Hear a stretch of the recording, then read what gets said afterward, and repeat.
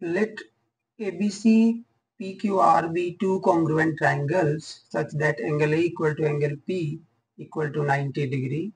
If BC equal to 13 and PR equal to 5 then find AB.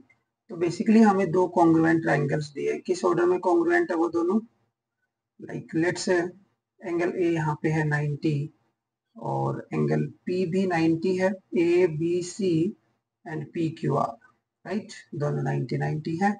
और इसी order में ए B C और P Q R same order में congruent है। तो आपको जो जो साइड दी है, लिख दो। बी सी जो है, वो 13 है। मतलब ये 13 है तो ये भी कितनी है? 13 पी आर जो है, वो फाइव है। तो ये भी कितनी? है फाइव आपको ए बी पूछा ये वाली। तो पाइथागोरस थ्योरम यहाँ पे लगा दो, या फिर आपको ट्रिपलेट याद होगा।